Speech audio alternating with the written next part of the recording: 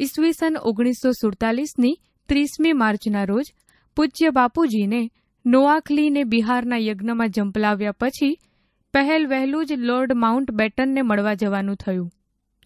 વાઇસરોએ તો પૂજ્ય બાપુજીને વિમાનમાં મળવા બોલાવેલા. પણ જે વાહનમાં કરોડો ગરીબો મુસાફરી ન કરી શકે, તેમાં મારાથી કેમ બેસાય? એમ કહી તેમણે તેનો ઇનકાર કર્યો અને ટ્રેનમાં પણ હું તો મારું કામ સારી રીતે કરી લઉં છું. એટલે હું તો આગગાડીમાં જ આવીશ. એવો નિશ્ચય કર્યો. ગરમી અસહ્ય હતી. ચોવીસ કલાકનો રસ્તો હતો. વળી સ્ટેશને સ્ટેશને આ પરમપિતાના દર્શન કરવા હજારોની મેદની જામતી. છતાં કંઈ પણ તકલીફની એમને ક્યાં ખેવના હતી? એમણે મને બોલાવીને કહ્યું, આ યજ્ઞમાં તું એકલી જ મારે સાથે છો. એટલે દિલ્હીમાં હું પહેલ વહેલો જાઉં છું. મેં નોઆખલી જતા જ નિશ્ચય કર્યો હતો કે ત્યાં જ કરવું અથવા મરવું અને સાથીઓને છૂટા કર્યા. પણ તને આ મારા યજ્ઞમાં ભાગીદાર બનવા માટે મેં રજા આપી. તું સાથે જ રહી. એટલે જેમ નોઆખલીમાં બધાને છોડીને આવ્યો તેમજ અહીં બિહારમાં પણ. બાકી દેવપ્રકાશ, હુન્નર વગેરે છે તે અને મૃદુલાબહેન રહેશે. મૃદુલાબહેન મારા વતી બધું જ સંભાળશે અને કામ કરશે. પણ તને છોડીને કેમ જવાય? એ તું પણ નહીં ઈચ્છે, એટલે તારે મારી સાથે આવવાનું રહ્યું. ઓછામાં ઓછો સામાન અને નાનામાં નાનો ત્રીજા વર્ગનો ડબ્બો પસંદ કરવાનો. પણ જોજે, આમાં તારી ખૂબ કસોટી છે હો. મેં સામાન તો ઓછામાં ઓછો લીધો, પણ સ્ટેશને સ્ટેશને પૂજ્ય બાપુજીના દર્શનાર્થીઓની એટલી ભીડ જામશે કે ઘડીએ એમને આરામ નહીં મળે. વળી ફંડ પણ મારે ગણવું પડશે. અને એ બધો જ અવાજ આવશે. આમ વિચારીને મેં બે ખાનાવાળો ડબ્બો પસંદ કર્યો. એકમાં સામાન રખાવ્યો અને બીજામાં પૂજ્ય બાપુજીને સુવા બેસવાનું રાખ્યું. પટણાથી દિલ્હી જતી ટ્રેન સવારે નવ ત્રીસ વાગ્યે ઉપડે. બાપુજી અને હું નવ પચીસ વાગ્યે સ્ટેશને આવ્યા. લોકોની ભીડ અસહ્ય હતી. પણ અમે ચડી ગયા. બાપુજી તો એક એક મિનિટનો સદુપયોગ કરનારા. એટલે પાંચ મિનિટમાં ફંડ ઉઘરાવી નાખ્યું. નવ ત્રીસ વાગ્યે ટ્રેન ચાલી. ગરમીના દિવસોમાં બાપુજી બપોરનું ભોજન દસ વાગ્યે લેતા. હું બીજા ખાનામાં જઈ સામાન ખોલી પૂજ્ય બાપુજી માટે ખાવાનું તૈયાર કરવા ગઈ. થોડીવારે પૂજ્ય બાપુજીવાળા ખાનામાં આવી. બાપુજી તો લખવામાં પડ્યા હતા. મને પૂછ્યું ક્યાં હતી? અહીં ખાવાનું તૈયાર કરતી હતી.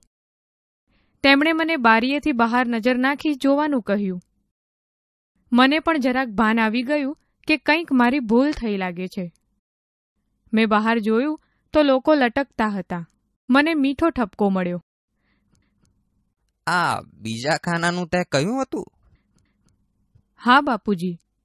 હું અહીં જ બધું કામકાજ કરું, સ્ટવ પર દૂધ ગરમ કરું, વાસણો સાફ કરું. તેથી આપને તકલીફ પડશે એમ જાણી મેં બીજા ખાનામાં કર્યું. કેવો લૂલો બચાવ છે. આંધળો પ્રેમ તે આનું નામ. તને ખબર છે? મને એરોપ્લેન ઉપરાંત સ્પેશિયલ ટ્રેનનું તકલીફ ન પડે માટે કહેવામાં આવેલ. એક સ્પેશિયલ ટ્રેન પાછળ કેટલી ગાડીઓ રોકાય અને કેટલા હજારનું ખર્ચ થઈ પડે? એ મને કેમ પોસાય? હું તો લોભ્યો રહ્યો. તે આજે તો વધારાનું ખાનું માગ્યું, પણ સલૂન માગ્યું હોત તો તે પણ મળત. પણ તે તને શોભત કે? એટલે તે બીજું ખાનું લીધું. તું આ બધું મારા ઉપરના અત્યંત પ્રેમને વશ થઈને કરે છે. પણ મારે તો તને ઊંચે ચડાવવી છે, નીચે નથી પછાડવી. એ તો તારે સમજવું જોઈએ. અને સમજી હો તો હું તને કહી રહ્યો છું, તે ન પડવા જોઈએ.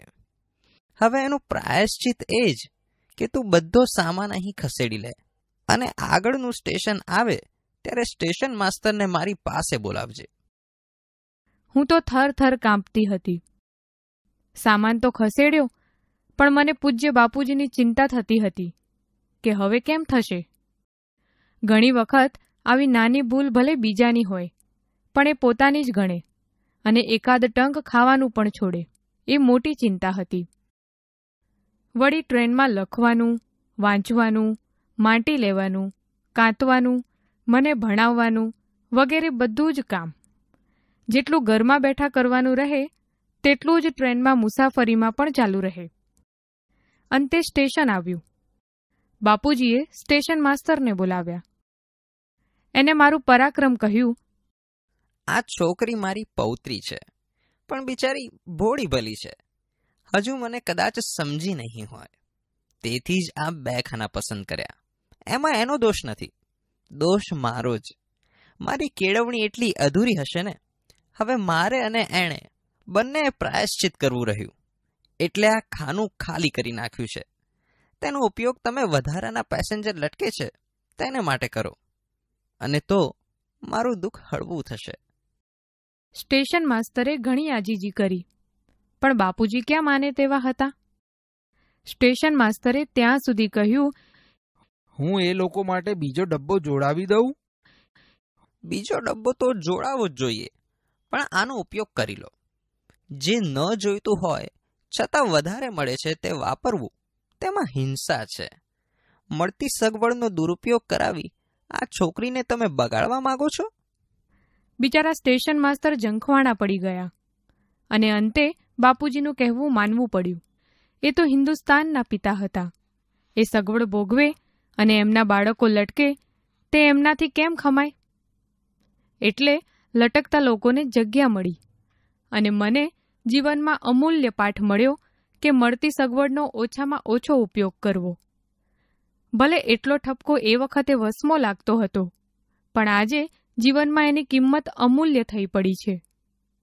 આવા ઝીણવટ ભરેલા અહિંસા પાલનથી જ એમણે પોતાનું જીવન ઘડ્યું હતું. અને એમાંથી ભલે ગમે તેટલું ઓછું હું ગ્રહણ કરી શકી. છતાં મારા જેવીને ઘડતરનો લહાવો મળ્યો, જે જીવંત પર્યંત મારો રહેશે.